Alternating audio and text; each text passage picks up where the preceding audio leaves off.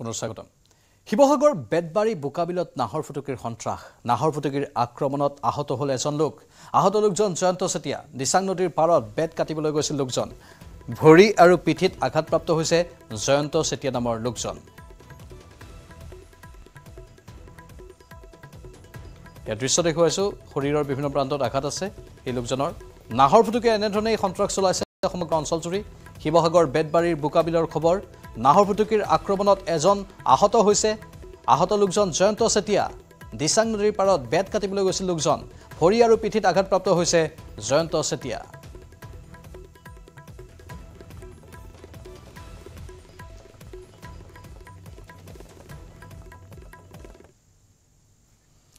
এতিয়া চাওঁ আহক ছুপাৰ প্ৰাইমৰ হেডলাইনছ।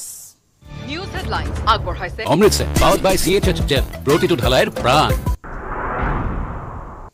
পঁয়সত্তৰ বছৰ বয়সত বিজেপিৰ পৰা অৱসৰ ল'ব লাগিব বুলি নাই কোনো দলীয় সাংবিধানিক নিয়ম। বৰ্তমান আৰু পৰৱৰ্তী প্ৰধানমন্ত্ৰীৰ কাৰ্যকাল সম্পূৰ্ণ কৰিব নৰেন্দ্ৰ মোদীয়ে। ভৱিষ্যতেও দেশক নেতৃত্ব প্ৰদান কৰিব মোদীয়ে। অৰবিন্দ কেজৰিৱালৰ মন্তব্যৰ প্ৰত্যুত্তৰ কেন্দ্ৰীয় গৃহমন্ত্ৰী অমিত শ্বাহৰ। বিহাৰৰ বেগুচৰাইত মুখ্যমন্ত্ৰী হিমন্ত বিশ্ব শৰ্মাৰ নিৰ্বাচনী প্ৰচাৰ। বিজেপিৰ চাৰিশ আসনৰ লক্ষ্য পূৰ্ণ হ'লে পাক অধিকৃত কাশ্মীৰ দখল কৰা হ'ব বুলি ঘোষণা মুখ্যমন্ত্ৰীৰ। নিৰ্বাচনী সভাত মুখ্যমন্ত্ৰীয়ে টাৰ্গেট কৰিলে ইণ্ডি এলায়েন্সক অত্যাধিক দাম বৃদ্ধিৰ বাবে ৰাজ্যত হ্ৰাস পাইছে সুৰাৰ বিক্ৰী। সুৰা বিক্ৰী কমি যোৱাত স্বাভাৱিকভাৱেই হ্ৰাস পাইছে আবকাৰী ৰাজহ। দিছপুৰত লাগিছে হাহাকাৰ। ৰাজহ ঘাটি জোৰা মাৰিবলৈ সুৰা ব্যৱসায়ীক আবকাৰী বিভাগে বান্ধি দিছে মদ বিক্ৰীৰ টাৰ্গেট।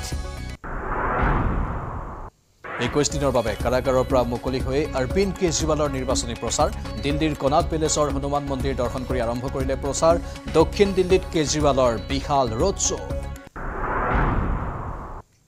উৰিষ্যাৰ নিৰ্বাচনী প্ৰচাৰ সভাত ভাগ লৈ প্ৰধানমন্ত্ৰী মোদীৰ কংগ্ৰেছক আক্ৰমণ জ্যেষ্ঠ কংগ্ৰেছ নেতা মণিশংকৰ আয়াৰৰ মন্তব্যক লৈ কংগ্ৰেছৰ পাকিস্তান প্ৰেমক কটাক্ষ প্ৰধানমন্ত্ৰী মোদীৰ।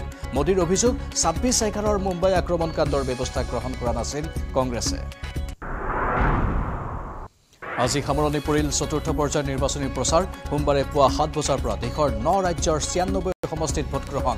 ভাগ্য নিৰ্ণয় হ'ব অখিলেশ যাদৱ মহুৱা মৈত্ৰকে ধৰি বহু কেইগৰাকী হাই প্ৰফাইল নেতাৰ। বৰ্ষাপাতাৰ পোন্ধৰ আৰু ঊনৈছ মে'ত আই পি এলৰ মহাৰণ ৰাজস্থান ৰয়েলছৰ বিৰুদ্ধে অৱতীৰ্ণ হ'ব Punjab kings Kolkata knight riders. তেৰ মে'ৰ পৰা বিছ মে'লৈ ৰাজস্থান ৰয়েলছ থাকিব গুৱাহাটীত। গুৱাহাটীলৈ আহিব বি চি চি আইৰ সভাপতি ৰজাৰ বিন্নী সচিব জয় শ্বাহ। মহানগৰীৰ লখৰাত যুৱতী চিকিৎসকৰ ৰহস্যজনক মৃত্যু। ভাড়াঘৰত যুৱতী চিকিৎসকগৰাকীৰ মৃতদেহ উদ্ধাৰৰ পিছতে চাঞ্চল্য। মহানগৰীৰ ৰহমান হস্পিটেলত কৰ্মৰত আছিল যুৱতী চিকিৎসকগৰাকী।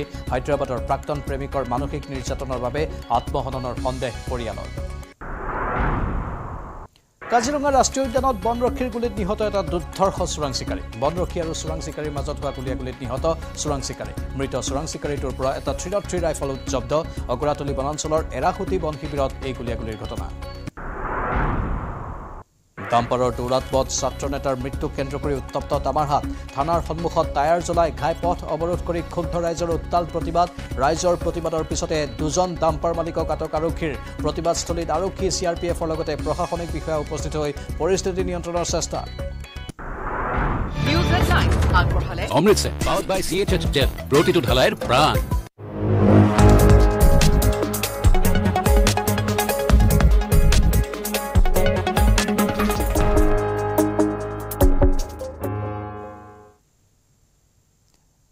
এইবাৰ মিজোৰামত ৰঙালী বিহু উদযাপন। মিজোৰামৰ অসমীয়া সমাজৰ উদ্যোগত ভানাপা প্ৰেক্ষাগৃহত আয়োজন কৰা হয় ৰঙালী বিহু অনুষ্ঠান।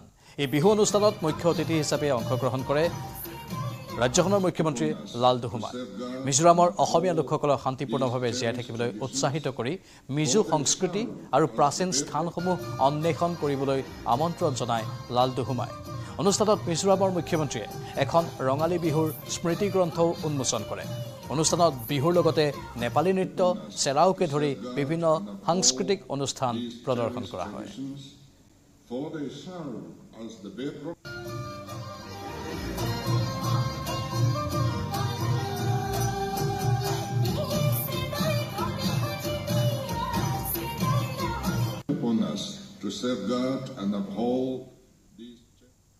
আৰু ছুপাৰ প্ৰাইমত এইখিনিতে সময় বাণিজ্যিক বিৰতিৰ কিন্তু অতি সোনকালে উভতি আহিম। এইটো মাইথান ষ্টীল নহয়। অঁ ওচৰ চুবুৰীয়াসকলে লগাইছে।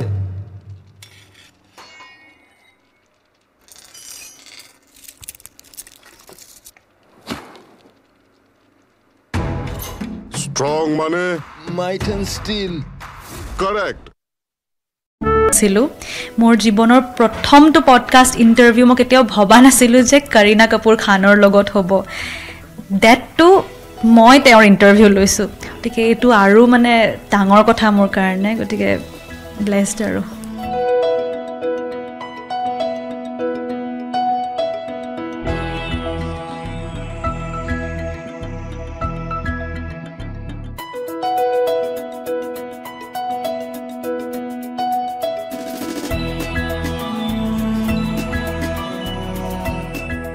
তোমাৰ জাৰ্ণিটো হ'ল জাৰ্ণিটো বৰ্তমান ফৰ্মেলি একো প্লেন আউট কৰা হোৱা নাই। এতিয়া গুৱাহাটীলৈ আহি মই আমাৰ গুৱাহাটীত যিখন ইউনিচেফ ইণ্ডিয়াৰ ৰিজনেল অফিচ আছে তাতে মই ইনফৰ্ম কৰিছোঁ যে মই আহি পালোঁ গতিকে মিটিং এখন কৰিব লাগে। আৰু তেওঁলোকেও মিটিং এটা খুব সোনকালে হোল্ড কৰিব য'ত আমি বৰ্তমান অসমৰ কাৰণেই কিছুমান এজেণ্ডা প্লেন আউট কৰিম ক'ত কি কৰিব পাৰি। সেয়াই আৰু। মূলতঃ থিমটো কি? মানে বাল্য বিবাহ ৰোধ কৰা। মূলতঃ থিমটো অকল বাল্য বিবাহেই নহয় মোৰ তিনিটা এডভকেচি ফিল্ড আছে।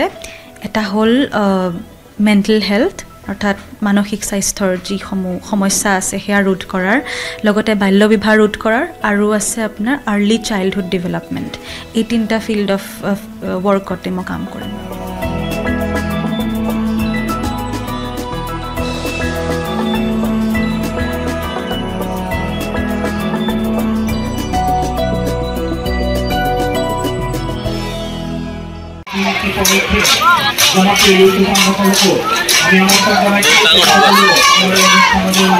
পৰম্পৰাগত ৰীতি নীতিৰে আকৌ এবাৰ মুখৰিত হ'ল গছতলৰ বিহু। আধুনিকতাৰ ধামখুমীয়াত কালৰ সোঁতত হেৰাই যাবলৈ ধৰা গছতলৰ বিহু জীয়াই ৰাখিছে মটক জনগোষ্ঠীয় লোকে। তিনিচুকীয়া জিলাখনৰ লগতে কাষৰীয়া জিলাসমূহৰ মটক জনগোষ্ঠীৰ গাভৰুসকলক গছৰ তলত ডেকাসকলে থলুৱা বিহুনাম জুৰি নচুৱাই আনন্দ উপভোগ কৰে। এই বিহু চাবলৈ বিহুতলীত হাজাৰ হাজাৰ জনতাই কৰিলে ভিৰ।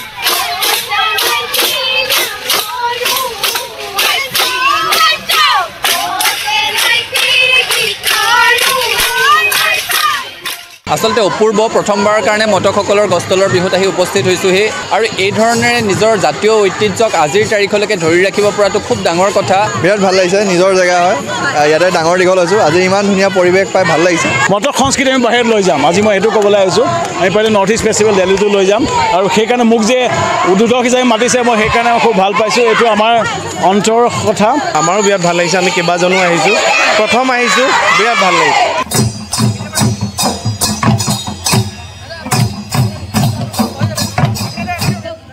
মটক জনগোষ্ঠীৰ ছাত্ৰ সংগঠন সদৌ অসম যুৱ ছাত্ৰ সন্মিলনৰ তিনিচুকীয়া জিলা সমিতিৰ উদ্যোগত সোমবাৰে দিনজোৰা কাৰ্যসূচীৰে আয়োজন কৰে নৱম বাৰ্ষিক মটক বিহু।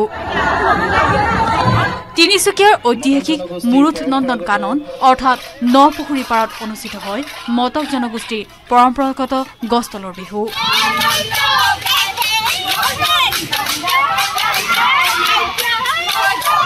তিনিচুকীয়াৰ পৰা Upasana Baruah Goswami news eighteen Assam north east.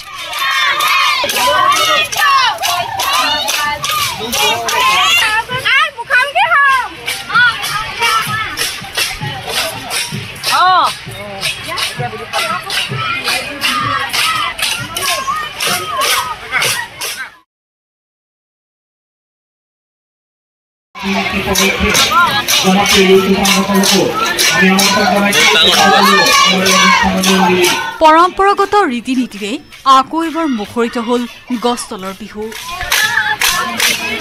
আধুনিকতাৰ ধামখুমীয়াত কালৰ সোঁতত হেৰাই যাবলৈ ধৰা গছতলৰ বিহু জীয়াই ৰাখিছে মটক জনগোষ্ঠীয় লোকে। তিনিচুকীয়া জিলাখনৰ লগতে কাষৰীয়া জিলাসমূহৰ মটক জনগোষ্ঠীৰ গাভৰুসকলক গছৰ তলত ডেকাসকলে থলুৱা বিহু নাম জুৰি নচুৱাই আনন্দ উপভোগ কৰে। এই বিহু চাবলৈ বিহুতলীত হাজাৰ হাজাৰ জনতাই কৰিলে ভিৰ।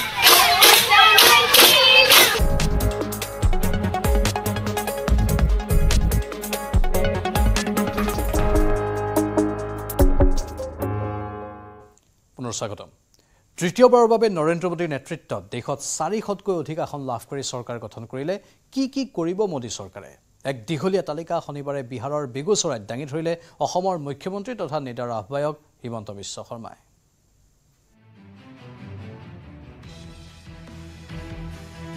বিহাৰৰ বেগুচৰাইত এয়া অসমৰ মুখ্যমন্ত্ৰী ডক্টৰ হিমন্ত বিশ্ব শৰ্মাৰ বিশাল নিৰ্বাচনী সভা।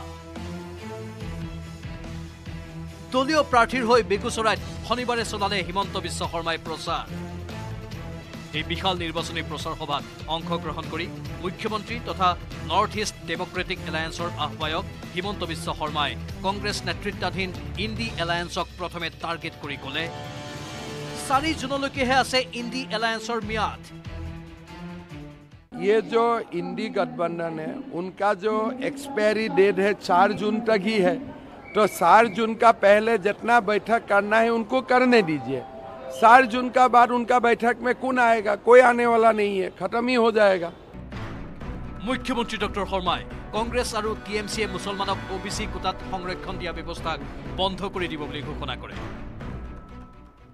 कांग्रेस पार्टी और टीएमसी बंगाल में क्या किया ओबीसी का आरक्षण में मुसलमानों को बैकडोर एंट्री करवा दिया लालू यादव खोल के बोल रहे हैं कि मुसलमान का आरक्षण होना चाहिए लेकिन हमारे ये मन है कि मुसलमान का जो भी आरक्षण मिल रहा है वो भी खत्म हो जाना चाहिए ইয়াৰ পিছতে মুখ্যমন্ত্ৰীয়ে ক'লে বিজেপিৰ দীঘলীয়া এজেণ্ডাৰ কথা চাৰিশ আসনতকৈ বেছি আসন পালে বিজেপি চৰকাৰে পূৰণ কৰিব দীঘলীয়া এজেণ্ডা এই এজেণ্ডাত আছে পাক অধিকৃত কাশ্মীৰ দখল হ'ব প্ৰৱৰ্তন হ'ব দেশত ইউ চি চি কৃষ্ণ জন্মভূমিত নিৰ্মাণ হ'ব ভব্য মন্দিৰ জ্ঞানবাপী মছজিদৰ বিষয়টো শেষ হ'ব चार सौ सीट आने का साथ साथ हमें तो पाक ऑक्युपाइड कश्मीर को भारत में लाना है हमें तो कृष्ण जन्मभूमि को मुक्त करना है हमारा चार सौ सीट में बहुत बड़ा एजेंडा है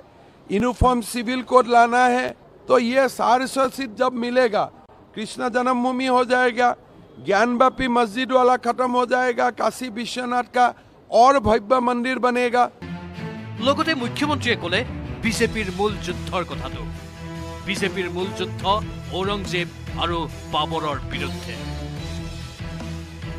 अरे हमें तो औरंगजेब और बाबर से ही हमारा नाराजी है हम तो फाइट ही कर रहे हैं औरंगजेब और बाबर से उनका औलाद से हम फाइट कर रहे हैं तो हमारा पूरा फाइट किसका खिलाफ है औरंगजेब का औलाद का खिलाफ बाबर का औलाद का खिलाफ वही तो हम कर रहा हूँ ইপিনে ৰাম মন্দিৰক লৈ কংগ্ৰেছৰ এক গোপন এজেণ্ডা আছে বুলিও সন্দেহ প্ৰকাশ কৰে মুখ্যমন্ত্ৰীয়ে कि कांग्रेस का मंशा है कि मौका मिलने से राम जन्मभूमि का जगह में वहाँ बाबरी मस्जिद दोबारा करना मोदी जी जो बोल रहा था नाना पटोले का बयान ये तुस- ये पुष्टिकरण करता है कि कांग्रेस का कुछ ना कुछ स्कीम राम मंदिर को लेके है উল্লেখযোগ্য যে অসমত তিনিটা পৰ্যায়ত নিৰ্বাচন অনুষ্ঠিত হৈ যোৱাৰ পিছত উৰিষ্যা পশ্চিমবংগ বিহাৰ ঝাৰখণ্ডত আৰম্ভ হৈছে মুখ্যমন্ত্ৰীৰ দলীয় প্ৰাৰ্থীৰ হৈ নিৰ্বাচনী প্ৰচাৰ এখনৰ পিছত আন এখন ৰাজ্যত চলাই গৈছে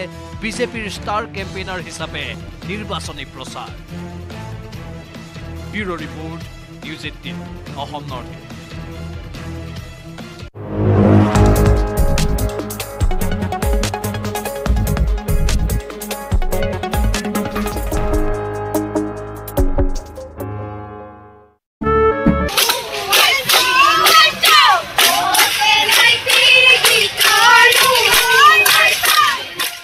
Apurba. প্ৰথমবাৰৰ কাৰণে মটকসকলৰ গছতলৰ বিহুত আহি উপস্থিত হৈছোহি। আৰু এই ধৰণেৰে নিজৰ জাতীয় ঐতিহ্যক আজিৰ তাৰিখলৈকে ধৰি ৰাখিব পৰাটো খুব ডাঙৰ কথা। বিৰাট ভাল লাগিছে নিজৰ জেগা হয়। ইয়াতে ডাঙৰ দীঘল হৈছোঁ। আজি ইমান ধুনীয়া পৰিৱেশ পাই ভাল লাগিছে। মটক সংস্কৃতি আমি বাহিৰত লৈ যাম। আজি মই এইটো ক'বলৈ আহিছোঁ। আমি পাৰিলে নৰ্থ ইষ্ট ফেষ্টিভেল দিল্লীটো লৈ যাম। আৰু সেইকাৰণে মোক যে উদ্বোধক হিচাপে মাতিছে মই সেইকাৰণে খুব ভাল পাইছোঁ। এইটো আমাৰ অন্তৰৰ কথা। আমাৰো বিৰাট ভাল লাগিছে। আমি কেইবাজনো আহিছোঁ। প্ৰথম আহিছোঁ। বিৰাট ভাল লাগিছে।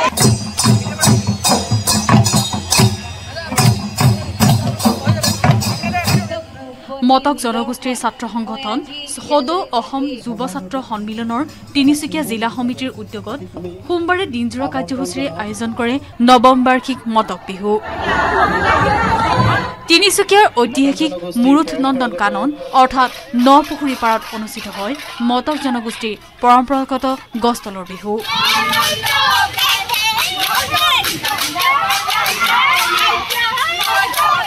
তিনিচুকীয়াৰ পৰা Upasana Baruah Goswami news eighteen Assam north east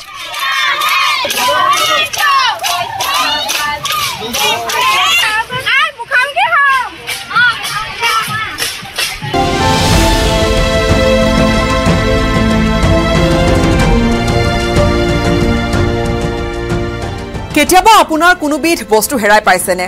এই ধৰক কলমটো। আৰু হেৰাই আপুনি পিছত উভতাইও পাইছে বা আপুনি ক'ৰবাত বিচাৰি পাইছে।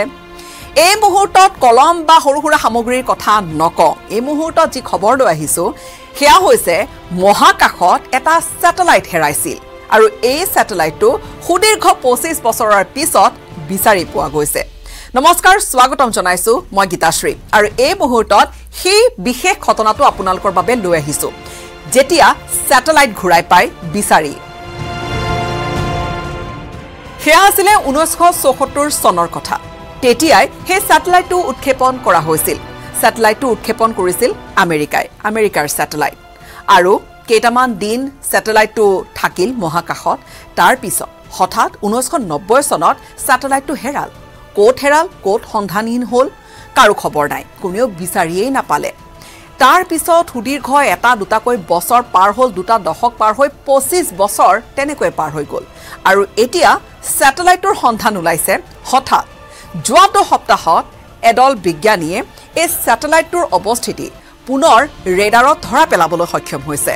এবাৰ ভাবি চাওকচোন ছেটেলাইট এটা যেতিয়া মহাকাশত হেৰায় ছেটেলাইট অৰ্থাৎ ভাৰতৰ পৰা যিসমূহ মহাকাশযান উৎক্ষেপণ কৰা হয় সেয়া পৃথিৱীৰ আশে পাশে ঘূৰি থাকে বা নিৰ্দিষ্ট স্থান এটাৰ পৰা আচলতে নিজৰ কাম কাজবোৰ কৰি নিয়ে সেই ছেটেলাইটটোৱে। তেনেকুৱা ধৰণে বিভিন্ন ছেটেলাইট আছে বা পৃথিৱীৰ পৰিক্ৰমা কৰা তেনেকুৱা প্ৰায় সাতাইছ হাজাৰমান ছেটেলাইটে কওক বা তেনেকুৱা বিশেষ সামগ্ৰীয়ে কওক বা যান বুলিয়েই কওক পৃথিৱীৰ চাৰিওফালে ঘূৰে।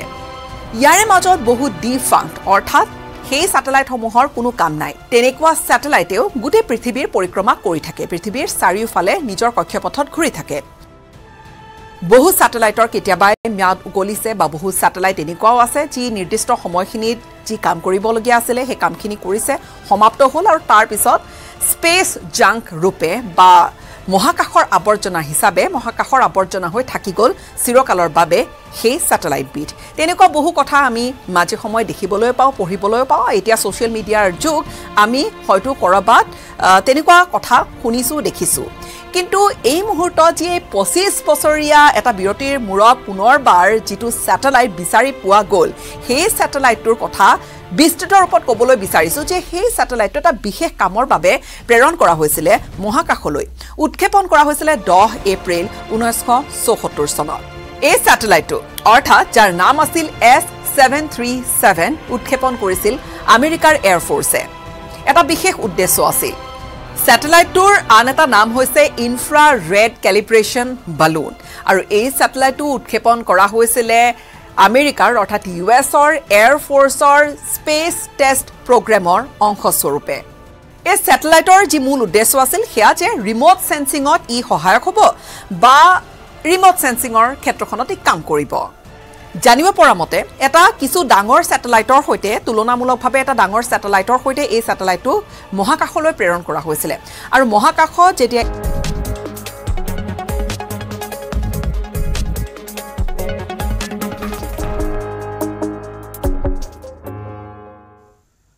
উৰিষ্যাৰ নিৰ্বাচনী সভাত কংগ্ৰেছৰ বিৰুদ্ধে সৰব হৈ পৰিল প্ৰধানমন্ত্ৰী নৰেন্দ্ৰ মোদী। জ্যেষ্ঠ কংগ্ৰেছ নেতা মণিশংকৰ আয়াৰৰ মন্তব্যক লৈ কংগ্ৰেছৰ পাকিস্তান প্ৰেমক কটাক্ষ কৰিলে প্ৰধানমন্ত্ৰী মোদীয়ে মোদীৰ অভিযোগ ছাব্বিছ এঘাৰৰ মুম্বাই আক্ৰমণ কাণ্ডৰ ব্যৱস্থা গ্ৰহণ কৰা নাছিল কংগ্ৰেছে এই প্ৰতিবেদন আগবঢ়া বিদ্যালয় ছুপাৰ প্ৰাইমৰ পৰা নমস্কাৰ मसल्स उनके कऊटा में पड़े हुए हैं और कहीं गलत फहमी फैल जाए तो तब दिक्कत में पड़ेंगे কংগ্ৰেছৰ পাকিস্তান প্ৰেম উত্তল দেশৰ ৰাজনীতি প্ৰথমে ছেম চাচা তাৰপাছত আকৌ মণিশংকৰ আয়াৰ। সেয়া দুহেজাৰ চৈধ্য চনৰ কথা। নৰেন্দ্ৰ মোদীয়ে কংগ্ৰেছক ধাহি মুহি নিয়াটো প্ৰায় স্পষ্ট হৈ পৰিছিল। তেতিয়াই মণিশংকৰ আয়াৰে নৰেন্দ্ৰ মোদীক উপলক্ষ্য কৰি কৈছিল যে মোদীক কংগ্ৰেছৰ কাৰ্যালয়ৰ সন্মুখত চাহ দোকান দিয়াৰো যোগ্য নহয়। নৰেন্দ্ৰ মোদী কভি ভি দেশ কে প্ৰধানমন্ত্ৰী নহি বনেংগে নহি বনেংগে नहीं बनेंगे लेकिन यहाँ आकर चाय का वितरण करना चाहते हैं तो हम उनके लिए कुछ जगह बना रहे हैं। সি মণিশংকৰ আয়েৰে এইবাৰো পাকিস্তান প্ৰেমত গদগদ হৈ কৈছে ये कि वो भी एक सॉवरन मुल्क है और कि उनकी भी इज्जत है और उस इज्जत को कायम रखते हुए आप उनसे जितनी कड़ी बात करना चाहते हो करो लेकिन बात तो करो बंदूक को लेकर आप घूम रहे हो और उससे क्या हाल मिला कुछ नहीं নৰেন্দ্ৰ মোদী এইবাৰ দুহেজাৰ চৈধ্য চনৰ মোদী নহয় দুটাকৈ কাৰ্যকাল দেশক নেতৃত্ব দি পাকিস্তানক নিজৰ স্বৰূপ দেখুৱাই দিছে মোদীয়ে সেই মোদীয়ে এইবাৰ মণিশংকৰ আয়াৰৰ দৰে কংগ্ৰেছ নেতাৰ পাকিস্তান প্ৰেমক কঠোৰ ভাষাৰে সমালোচনা কৰিছে कांग्रेस बार बार अपने ही देश को डराने की कोशिश करती है वो कहते हैं संभल के चलो पाकिस्तान के पास एटम बम है पाकिस्तान के पास एटम बम है पाकिस्तान के पास एटम बम है ये मरे पड़े लोग ये देश के मन को भी मार रहे हैं जी और कांग्रेस का हमेशा ऐसा ही रवैया है মোদীৰ ভাষাত পাকিস্তানৰ অৱস্থা এতিয়া এনেকুৱা যে পাৰমাণৱিক বোমাকেইটা ৰাখিবৰো শক্তি নাইকিয়া হৈছে পাকিস্তানে এতিয়া পাৰমাণৱিক বোমা বিক্ৰী কৰাৰ বাবে বজাৰে বজাৰে ঘূৰি ফুৰিবলগীয়া অৱস্থা হৈছে ये जो पाकिस्तान के बम बम बम की बातें करते हैं ना आज तो पाकिस्तान का हा- हालात ये है कि इन बम को संभालना कहाँ वो भी उसके बस का रोग नहीं है अब तो वो बम बेचने के लिए निकले हैं कोई खरीदने वाला मिल जाए और लोगों को मालूम है क्वालिटी में दम नहीं है वो माल भी बिकता रही है কংগ্ৰেছৰ এনে মানসিকতাৰ বাবেই দেশে বছৰ বছৰ ধৰি দুৰ্ভোগ ভুগিবলগীয়া হৈছিল कांग्रेस के इसी कमजोर रवैये के कारण जम्मू कश्मीर के लोगों ने 60 साल तक आतंक भुगता है देश ने कितने ही आतंकी हमले झेले हैं देश भूल नहीं सकता কংগ্ৰেছৰ পাকিস্তান প্ৰেমৰ কাহিনী তাতেই অন্ত নপৰি তেলেংগানাৰ নতুন মুখ্যমন্ত্ৰী ৰেৱন্ত ৰেড্ডীয়ে আন কংগ্ৰেছ নেতাৰ দৰে চাৰ্জিকেল ষ্ট্ৰাইকৰ ওপৰতেই সন্দেহ ব্যক্ত কৰিলে हर चीज़ के लिए वो जय श्री राम बोलने वाले तो वो मैं, मैं सीधा सीधा Pulwama incident is classic example they failed IB क्या कर रहा है? इंटेलिजेंस नेटवर्क क्या कर रहा है? पुलवामा इंसिडेंट होने के बाद सर्जिकल स्ट्राइक में पॉलिटिकल बेनिफिट लेने के लिए मोदी जी कोशिश कर रहा है। मेरा सवाल ये है कि मोदी जी को भाई आप क्या कर रहा है? पुलवामा इंसिडेंट क्यों हुआ है? क्यों होने दिए? तो वहाँ पर आपका फेल्यूर है ना? उसके बाद आप किए नहीं किए? भगवान जाने सर्जिकल स्ट्राइक हुआ नहीं हुआ किसी को पता भी नहीं आज तक কংগ্ৰেছৰ এনে অহেতুক পাকিস্তান প্ৰেমকে হাথিয়াৰ হিচাপে লৈ নিৰ্বাচনী ৰণত আগবাঢ়ি গৈছে বিজেপি এইবাৰো যেন তাৰ ব্যতিক্ৰম হয়তো নহ'ব saw it during the 10 years of Congress, the UPA rule, how terror attacks were tolerated in a sense. Proper response was not given. Attitude and approach of Congress party towards terror is always been weak and. कि ये कोई सहयोग नहीं, ये सोचा समझा प्रयोग है और वोट बैंक का उद्योग है जिस प्रकार से कांग्रेस पार्टी पाकिस्तान आतंकवाद के साथ खड़ी हो रही है और उसे लगातार क्लीन चिट दे रही है रेवंत रेड्डी जो तेलंगाना के मुख्यमंत्री है, वो न केवल पुलवामा पर पाकिस्तान को क्लीन चिट दे रहे हैं और भारत पर दोष डाल रहे हैं, परंतु कह रहे हैं, ये सर्जिकल स्ट्राइक हुआ भी या नहीं हुआ ये पता ही नहीं है। मतलब कि सेना के मनोबल पर सवाल खड़े करना, उस पर हमला करना और सेना के शौर्य पर सवाल खड़े करना, ये वही कांग्रेस है। News desk news eighteen north east